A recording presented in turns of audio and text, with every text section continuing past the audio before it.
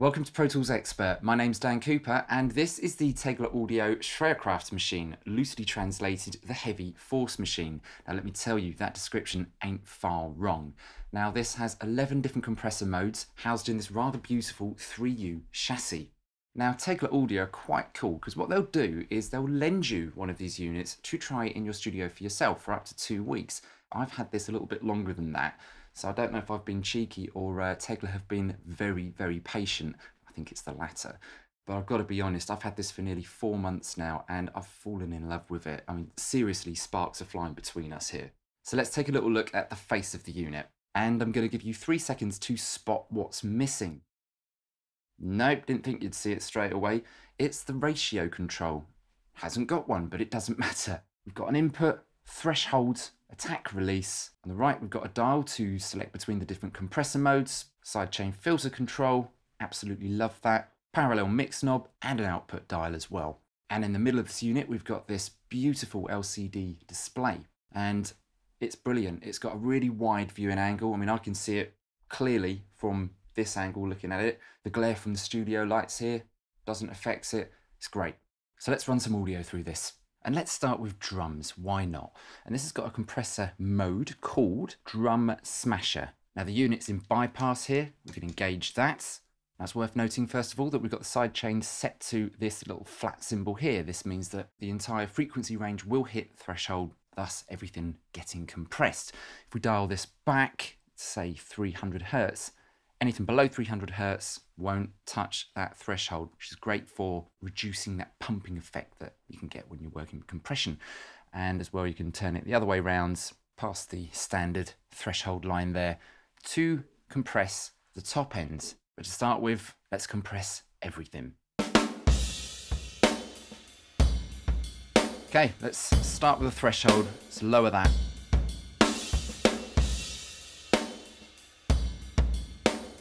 Speed up the attack. Slow the release.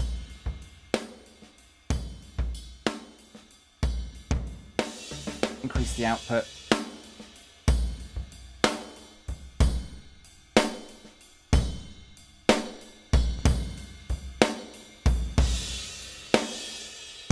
Okay, slow the attack down now. Let some of those transients through speed up the release.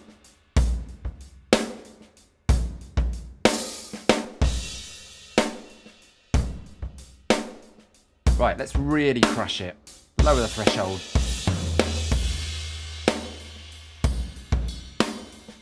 Now let's stop the kick drum from pumping this. Let's use the side chain.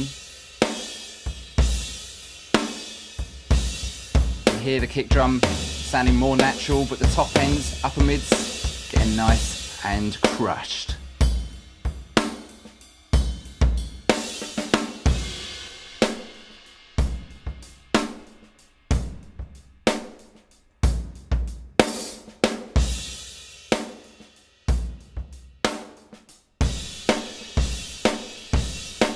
Sounds great.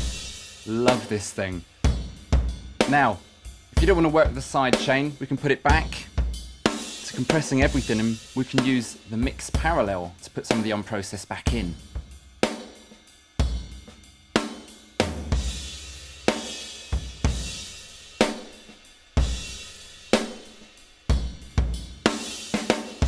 Sounds absolutely brilliant. Love this thing. Now let's try this on the full mix and I've already got the settings for this and they're in the plugin. So let's load them up. Let's have a little listen and see if we need to tweak this anymore.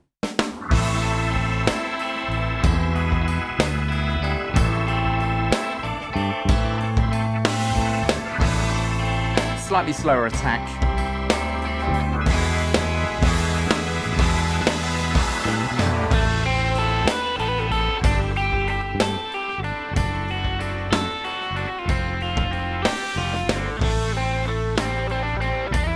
Sounds great. Push it a little bit more, lower the threshold. And put some of the unprocessed back in.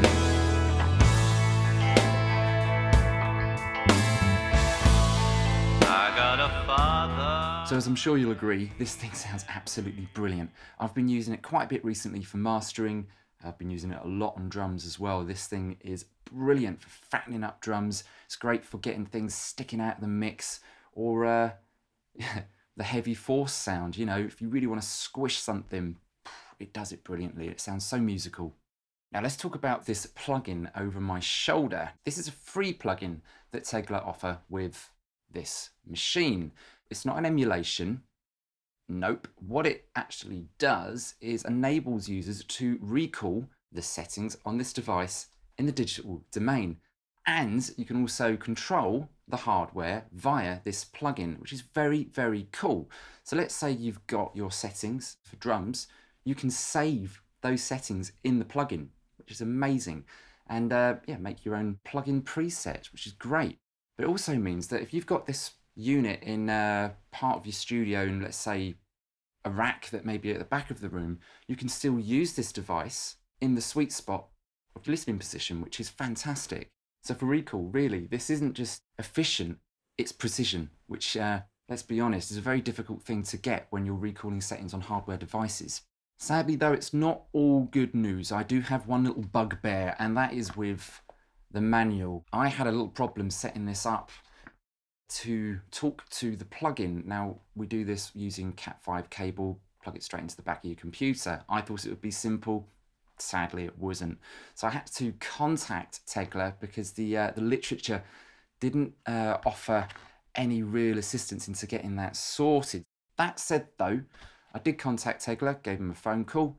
They picked up, walked me through the whole process, took about three minutes, and they reassured me if I come across any issues with this or my Crème I've got down in the rack, that they would help me and resolve any issues that I've got.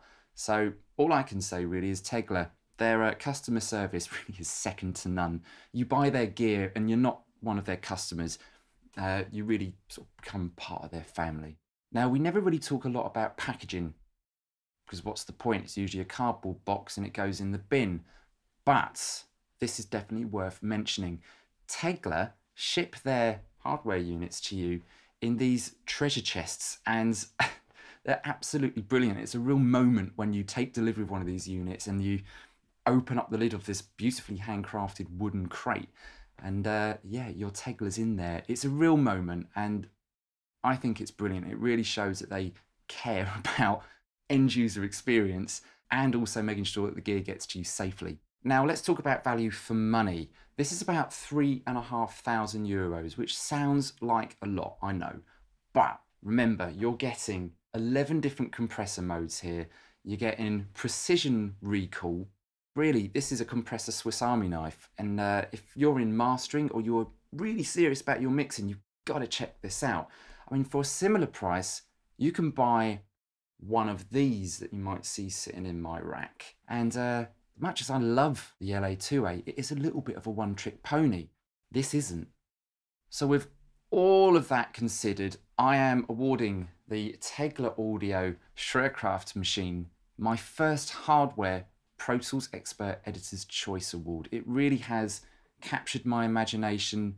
It's impressed me so much. I mean, I'm going to go as far as saying that, like the LA2A to us all is a vintage piece of gear, I consider this to be a future classic. You know, in the next 30 years, we're going to probably look back at this device and go, that changed things. That's the game changer. That was Genesis.